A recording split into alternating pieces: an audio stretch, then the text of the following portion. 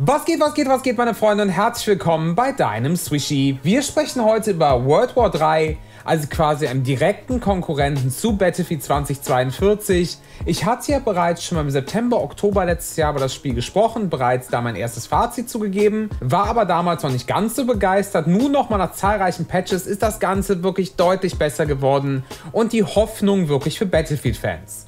Mehr dazu natürlich wie immer im Video zu World War 3 bei deinem Swishy.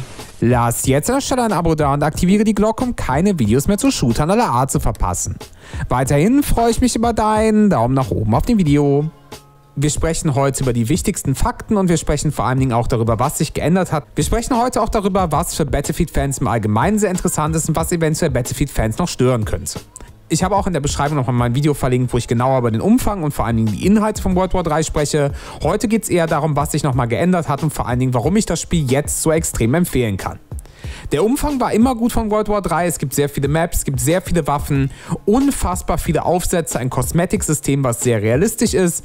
Man kann sich so zum Beispiel durch Sturmhauben oder zum Beispiel auch durch Helme, Tarnungen und vieles weiteres seinen Soldaten zusammenbauen, auch quasi verändern, aber nicht lächerlich. Keine Elfenskins, keine Weihnachtsmann-Skins, sondern einfach Soldaten mit verschiedenen Tarnungen und eben Ausrüstung. Es sieht halt einfach realistisch aus und bringt halt trotzdem noch den Reiz der Cosmetics mit. Das Spiel befindet sich noch in der Closed Beta Phase. Es geht jetzt bald in die Open Beta. Es sind nur noch wenige Tage bzw. vielleicht wenige Wochen. Der Starttermin wurde noch mal ein bisschen verschoben. Aktuell kann man sich eben den Closed Beta Zugang für knapp 12 Euro kaufen oder man wartet eben noch eine gewisse Zeit, bis das Spiel dann kommt. Aktuell ist das Spiel nur für PC geplant, also für Konsolen kommt es aktuell nicht. In meinen Augen ist es aktuell der beste Battlefield 2042 Ersatz, natürlich mit Problemen, ist ja auch noch eine Beta, aber das spaßigste Erlebnis, was es aktuell gibt in Richtung Battlefields.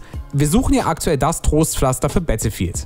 Heißt irgendwie was, was in Richtung Battlefield geht, heißt mit Fahrzeugen, Infanterie-Gameplay und, und, und, und. Und World War 3 bietet das für meinen Geschmack aktuell am besten. Natürlich gibt es noch Battlefield 5 und Battlefield 4, aber die mal außen vor gelassen. Wir reden jetzt wirklich nur von den neueren Spielen. World War 3 kann mit wirklich unfassbar vielen Maps selbst in der Open Beta auftrumpfen, sogar mehr als Battlefield 2042. Es gibt extrem viele Waffen, super viele Waffenaufsätze, sehr viele Anpassungsmöglichkeiten sowohl an Soldaten als auch an Waffen und es ist wirklich absolut gut geworden. Das Gunplay fühlt sich sehr gut an. Es ist ein bisschen, sagen wir mal, Hardcore-lastiger. Es gibt zum Beispiel Friendly Fire, was wir nicht ausschalten können. Man kann sich nach links und rechts lehnen, aber man kann auch zum Beispiel durch die Gegend rutschen mit Crouch, also quasi mit Ducken, genau wie im Battlefield 2042. Es gibt Killstreaks wie in Call of Duty. Es ist wirklich ein bunter Mischmasch aus allem, aber das ist wirklich sehr gut gelungen, weil keines so wirklich überwiegt.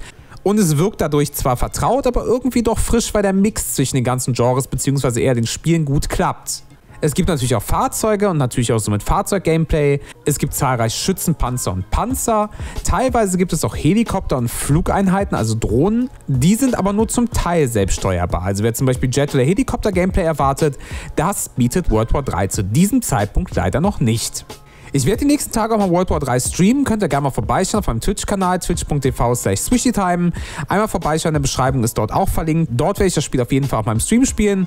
Es gefällt mir aktuell sehr, sehr gut und es gefällt mir deutlich besser als noch letztes Jahr, wo es mit sehr vielen Soundproblemen zu kämpfen hatte, Performance-Schwierigkeiten. Das wurde mittlerweile sehr gut in den Griff bekommen, ist meiner Meinung nach der Hoffnungsträger in Richtung Battlefield und ist meiner Meinung nach mehr eine Battlefield-Hoffnung als Battlefield selbst, wenn denn mal ein Battlefield 7 kommen sollte. Aber genug von mir an der Stelle. Was sagst du zu dem Thema? Thema. Wie gefällt dir World War 3, beziehungsweise hast du schon mal gespielt? Schreib es mal unten in die Kommentare, die ich natürlich wie immer alle beantworten werde.